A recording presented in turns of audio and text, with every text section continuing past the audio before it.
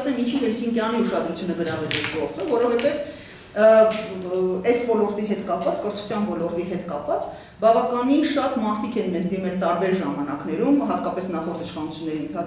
կառավարման ընթացքում, ու երբ մենք բացատրում ենք, որ սա բավականին ծանր աշխատանք արելու, սա այս պայքարը ուղղված արնելու նաև ճնշումներով, հետապնդումների նոր տեսակներով, մարդիկ կարծես թե ոլորտի մարդիկ այդքան էլ պատրաստ չեն պայքարելու, ու երբ հասկացանք, որ կա մի անձնավորություն, որը պատրաստ է իր այրանքների համար պայքարելու, առհասարակ ոլորտի հետ կապված փոփոխությունների հետ պայքարելու, հասկացանք, որ նույն ավանդույթն է մեր մոտ այդպես չսատարելը, չօգնելը, չաջակցելը ուղղակի սխալ կլինի Այս ոլորտում կան բազմաթիվ խնդիրներ։ Մենք ոլորտի մասնագիտացում ես չունեմ, հետազոտություններ չեմ արել, բայց բոլոր այն խնդիրները, որոնք տարբեր ժամանակներում, տարբեր մարդիկ, տարբեր ոլորտներից, ուսուցիչներից միջև տնօրեններ մեզ դիմել են, մենք հասկանում ենք, որ իսկապես լրջագույն խնդիր կա, կառավարման խնդիր կա,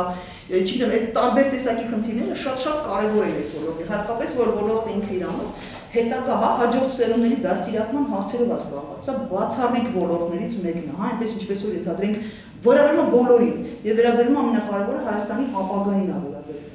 ու շատ կարևոր էր մենք դիտարկեցինք ինչից սկսեցինք դերևս արդեն երբ հասկացանք որ այնքան պատրաստ այնքան հասունացել գործը որ պատրաստ է անգամ դատարանում բողոքարկել որոշումները մանրամասները արդեն Բաստաբանը ու Շարբազյանը կներկայացնեն Երբ որ հասկացանք, որ գիտակցությունը այնքան է բարձրացել, որ մինչև անգամ պատրաստ են դատարանում պայքարել, բնականաբար չեն կարող հաճկաթող անել, հա, ու չսատարել։ Այս սա է մեր հիմնական մասնակցության խնդիրը, երևի թե ավելի մանրամասների մասին ճիշտ կլինենք ներկայացնեն, ու ես կասեմ, թե հետո մենք մենք ինչ ենք արել, ինչ ենք պատրաստվում անել։ Իշխանության չպես ստացվեց, որ դուք հայտնվեցիք այդ դատական համակարգի ուշադրության կենտրոնում, ամեն դեպքում դուք ինքներդ պայքարելու արդեն եթե տենչեք, ես նախաբանով ներկայացնեմ, սկսեմ այնտեղից, որ ասենք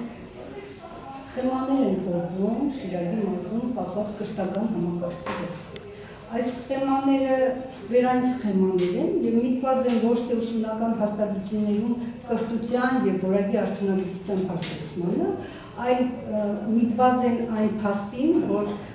ուսումնական հաստատություններում հայտնվեն ղեկավարման գործընթացը իրականացնող այնպիսի անձիկ, որոնք կառավարելի են։ Արդյունքը այնպիսին չի, որ այս մարդկանց ղեկավարման օրով դպրոցը կունենա ավելի արդյունավետ եւ որակյալ ուսուցում կամ ասենք կրթական համակարգ, բնականաբար ավելի հեշտ է գործ ունենալ յազոր մարմիններին այն մարդկանց հետ, որոնք չեն ապահովում ոչ կրթություն, կրթության վրա ոչ արդյունավետություն։ Իսկ դիրքորոշում մասնագիտական մտահոգություն ունեցող մարդկանց հետ Շիրակի մարզի լիազոր մարմիններին աշխատել ավելի դժվար է։ Այս սխեմայի ներսում գործում են մարզպետը, գործում է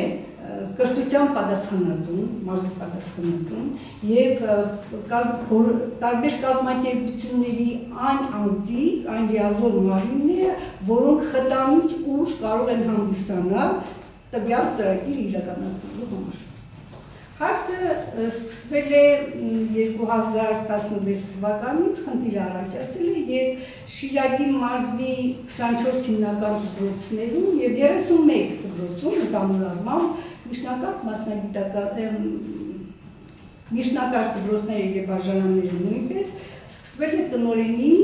ընդրության, փոփոխության նշանակման կարգը։ Այսինքն 2016 թվականին լուծարվեց շատ պայմանագրեր հանրապետական դպրոցներին եւ պիտի նշանակվեին նոր տնօրեններ։ Պիտի անցկացվեր տնօրենի մրցույթներ։ Բնականաբար պայմանագրերի լուծարումից հետո նշանակվում էին պաշտոնակատարներ դպրոցում մինչև մրցույթային կարգով նոր տնօրենի նշանակումը։ Հանրապետական բոլոր դպրոցներում Գյումրի քաղաքի, որտեղ պիտի անցկացվեր նոր մրցույթներ, պաշտոնակատարներ նշանակվեցին նույն տնօրենները, նախկին տնօրենները։ Միակ դպրոցը, որտեղ պաշտոնակատար չնշանակվեցի ես, դա Գյումրու թիվ 38 դպրոցն է։ Սա ազդակ էր այն մասին, սա խոսում էր այն մասին, որ ես կանխակար վերաբերում եմ մարզպետի կողմից, որ ես չեմ շարունակել իմ պաշտոնավարումը այդ դպրոցում, ինչքան էլ մրցույթը անցնի նորմալ կամ ինձ համար ցանկալի կամ ըստ գործող կարգի։ Այստեղից սկսվեց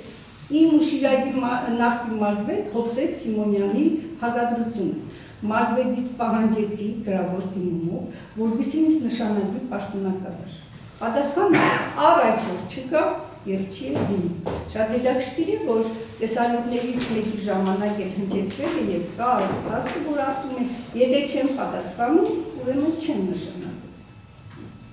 Նշանակվեց թիվ 42 դպրոցի տնօրեն, փոխտնօրեն Արքինե Նիկոսյանը։ Բերեք կանգ առնենք այն պահի ու փաստի վրա, որ եթե